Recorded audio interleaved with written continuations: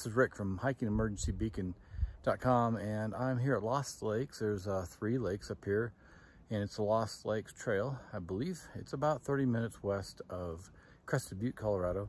And I've tried out my uh, new Bivy Stick Blue right here.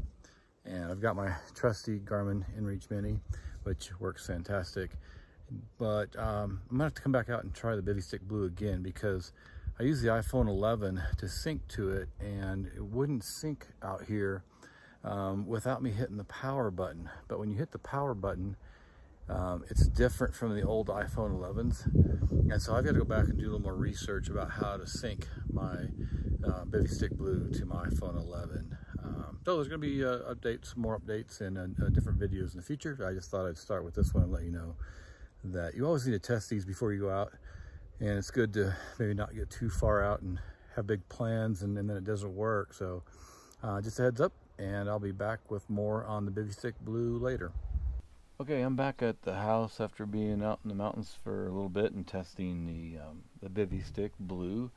And um, so I'm outside and uh, you might hear a little noise here and there, but that's okay. Uh, let's, let's, just get this wrapped up. So here's my Garmin InReach Mini and uh, it right now it is my go-to satellite messenger and I keep testing others see if they'll beat them and uh, what what's good about the other satellite messengers and, and every satellite messenger um, has a lot of value and is really good. Uh, they're just good for certain things. So here's the Bivy Stick Blue. I've got it tethered to my backpack and I put it inside the sleeve. It's really small it's uh, both these uh, um, satellite messengers are small. This uh, this Bivy Stick Blue has several different uh, buttons on it. Here's the power button, here's the check-in button. Down the bottom, uh, there's a place here for you to charge, and then you got the SOS button. And um, anyway, those are the buttons on it. It's not uh, if you don't sync it with your phone, it's uh, you can't do a lot with it, but you can check in, and you can hit the SOS button. So there are some nice things about just having a standalone if you don't want to do anything else with it. So um, I'll just, just sit it right here for right now. But I want to show you the app. This is how you control it on the Bivy Stick app. It's called Bivy 6. And so the first thing I always do on this, and I'm not sure how well you can see it, but right down here there's a home page map uh, icon, stick, messages, and profile. So the first thing I do is I always go and see if it's connected, which right now it's not. So let's see about connecting it. So what you're supposed to do, well, of course it's not connected. I haven't turned it on. What you're supposed to do is, uh, you, of course, under settings, you gotta make sure your Bluetooth is on. And uh, right now, my GoPro is connected. But then if the instructions say you well, hold down on the power button for like two seconds. When you do that, there's a green light that comes on here, shows power's on. Here's a light here. This shows the signal strength. Right now it's green. When it comes on, it's it's red, and then if it, it'll be yellow if you don't have a lot of satellites it's connecting to. But it's green, so we got a lot of uh, satellites in the, in the area. All right. So it uh, doesn't show it's connected here, but when I go back to the Bivy Stick app, you can connect, click, uh, uh, hit the stick button, Sometimes uh, when it says connect Bivy stick, and I'm using the iPhone 11, it gives me issues because it says hit the power button or hold the power button down. But when you hold the power button down, it, it, it doesn't operate the same way as the older uh, iPhone 11. So what I typically do here is I will get rid of the app and I'll start it up over again. Alright, so we're going to go back into the Bivy Stick app and we'll hit the stick again and see here it says disconnect. So it is connected and uh, so at the home page there's a lot of different things you can do here. There's messages check-in. Even though you can do messages SOS and, and all that down here at the bottom you can also it's real quick links up here SOS share my location. There's um, here's a new adventure you start tracking. So if you want to go out and you're on a trail and you want to see exactly where you went you can uh, start tracking from there. There is uh, you can view offline maps here and there's community waypoints weather you can get weather but one thing about the bivy stick is depending on what subscription you have you get certain credits and every time you check weather it takes I, I believe it's two credits So anyway, here's settings, and then here's uh, down here is nearby adventures. So what I do on this here, and, and everybody uses things differently, okay? So, you know, it's uh, all these reviews, just keep in mind, I'm not trying to be scientific about these reviews. I, I, I try them out and I test them for how I use them, what I like. So keep that in mind. Uh, this is I'm not being an expert on all the satellite messengers. So once I know the stick is connected, I'll go to my map.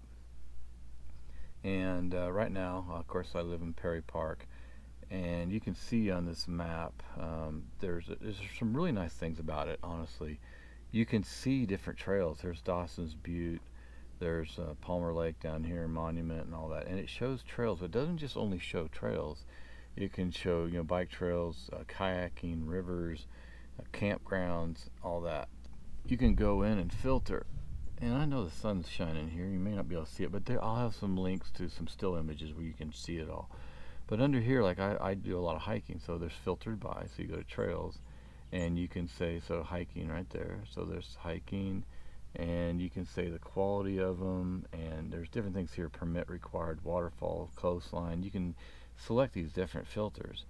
But all I really want is the hiking. I don't care about the rest of it, and of course the quality. I'll I'll decide that on my own. So when you're done with that, you just hit the X at the top here, you hit this button at the top and it turns off all those uh, markers. And then that button right here, the second one down, zooms in on your location. Down here in the middle is a tracking button, and uh, so you can hit track when you start uh, on a hike. This button right here is offline maps, so you can download maps and view them when you're offline. But when you're out and about, um, this this stick actually connects to satellites, uh, and so you can look at these maps anywhere you go. There's some also some things you can do here. You can uh, that was topo topography. You can do a hybrid, and it does uh, I think some roads uh, plus the uh, aerials, and then you can also do just satellite. And it depends on what you're wanting. I'll switch back and forth between them, but I typically like to keep it on topography anyway, there you go. That's uh, so if I zoom in right here, you can see there's a lake here, there's roads, and um, you know, I'm not sure if this shows the trails. I'm going to go over to another area where Dawson's Butte is. I know there's trails there. And so if I zoom in real close, it does show a trail. So I'm going to take a still image of this and I'll be able to show it to you in more detail uh, on the video but uh, anyway there's the trail there's a trail that splits off here a couple different places you can click on that map and so here's Dawson's Butte Open Space Ranch and so it tells you a little bit about it. it tells you it's 4.9 miles. It is 3.9 miles away. Gives you the how you know the the ranking. It's a 3 out of 5 and there's a couple things about it that like you can take a picture here and all that but um, it, it, it, gives you a map of the location which is fine um, I really don't need that map of the location because what, what it'll do is if you've got multiple spots out here it will actually show you different trails and so you can well here it's giving you more information already right here and uh, tells gives a description, adventure uh, adventure features, and it's uploaded by. Uh, so there's several several different things. It tells you it's moderate. It takes about 2.46 hours uh, to hike this trail, and it also gives you a profile here. So I've been on this trail several times. Several times. It's a gradual down, and then when you do it, it's a loop. And when you come back up, you're you're coming back up to the trailhead. But it's a real gradual hike. It's a good trail. So just wanted to show you that uh, wants me to rate it, but I'm not going to rate it at this point. Let's go on to some other things real quick. Let's do the messages. So I've done several test messages already. You would have seen some of these I've taken pictures of. Didn't really make a, a video of them. But I sent some to myself. I sent some to my daughter and a friend of mine.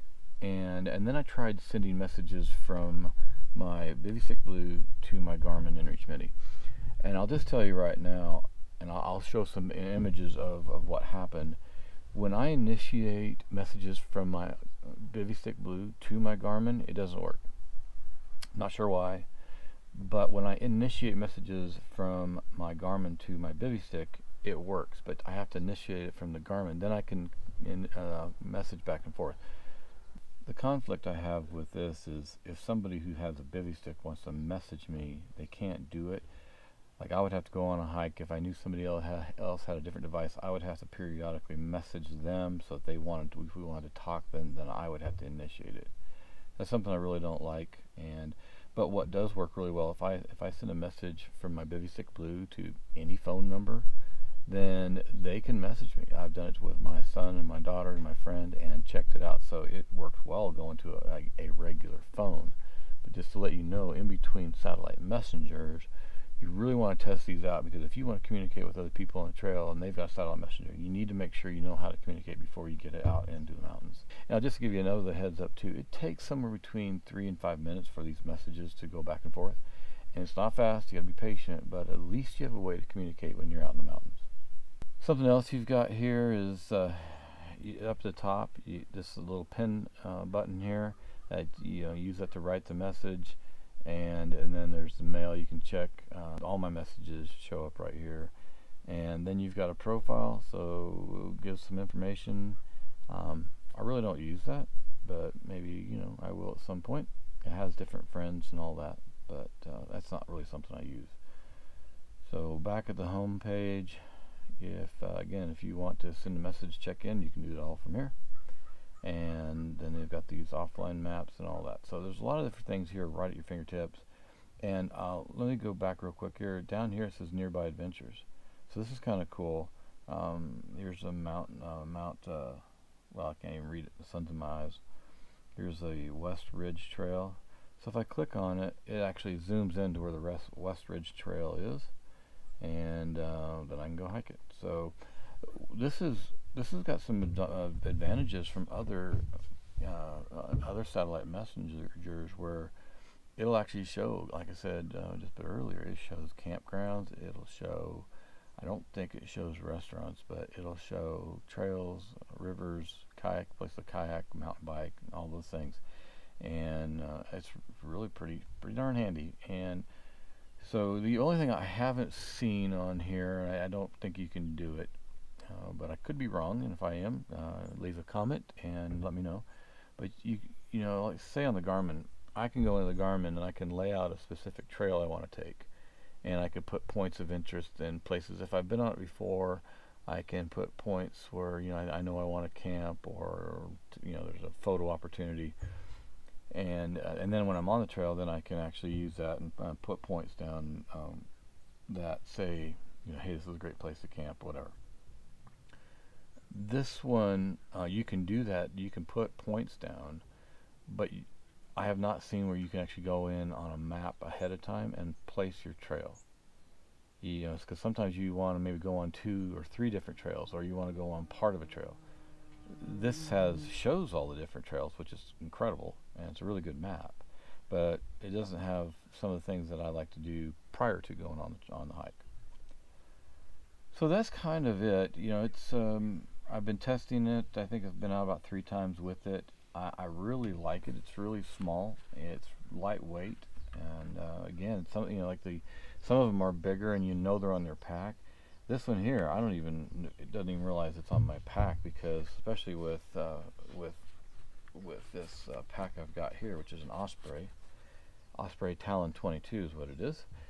It slides right into that pouch, and I don't even realize it's there. I turn it on, hit the trail, and I've got all this app, all this, uh, all this at my fingertips, from messages to SOS to the maps, and um, all different points of interest. Well, like I said, whether it's campgrounds or rivers, etc. So it's uh, it's a really good device. I, I like it a lot, and I I'm not I'm not here to I didn't I don't want to rank in this video. You know, compare it to the Garmin because I, it's just a great device all by itself and Bivy has come out with a new one now because they combined or they bought out a ACR, I believe it is, and so it's the orange color or yellow, and um, so it's brand new. I, I will be getting that and testing it, but it's probably similar. Probably hasn't changed. Just uh, it's just a marketing issue. And uh, again, it's uh, it's a really good device. It's easy to set up. Now I will let me uh, let me throw in the whole setup issue here too you have to go through a setup process where you actually put in your information, you know, um, contact, uh, emergency contacts, your address, all that. And then you do have to pick a, uh, a, a subscription. It's not there's no annual contract, but you have to pick a subscription. I picked one that was $14.99, and it's for one month, and you only get a certain amount of you only get a certain amount of messages or weather, getting weather, things like that but um, it's not very expensive. But you can just do it per month. When you go and want to go out, you you initiate it and then you um, turn it turn it off. So you're paying by a month, and then there's different levels of subscriptions. So you do have to go through that process. When you initiate your subscription, you do have to be in cell service. You can't be out in the mountains and go, "Oh, I want to initiate cell service, uh, uh, my subscription." You can't do that. You need to do it before you hit the mountains. I had to when I was out. I had to go into town, which was only about seven miles away. It's a small town. There was self uh, self service there, and I was able to sit there at a restaurant and initiate the, the, the subscription. And then when I went back out, I had all the maps because when I when I was doing it before and didn't do the subscription, um, I hit the maps, but nothing showed up. So you do have to initiate it, and it's real simple. But be, you got to be in Wi-Fi or you got to be in cell service when you do it. So that's really it. It's a, an excellent device. You can see hides right there. Can't hardly see it. And um, messages people. It, there's so many there's so many things it does really well, and I highly recommend it. And I will do some comparisons with it and some other satellite messengers later. But it's a great device. I, you know, if you got it, it's uh, and you got it over the Garmin or anything else, I would never even I would never criticize anybody for that because every satellite messenger has its advantages and disadvantages, but I'll tell you, every single one I have bought, even though there's limitations on some, they've all been good at what they do and what I've needed them for. And so just do some research. I've got a lot of different uh, articles and videos on my website, and I try to do, you know, give you field tests and show you what it's really like and, and what you've got to do to make them work properly what's uh, good and, and bad about them. So take a look around and let me know what your thoughts are. And uh, I'll upload this soon, but uh, like and subscribe if you would. And uh, let me know what you think about these satellite messengers, and specifically on this one, this Bivy Stick Blue.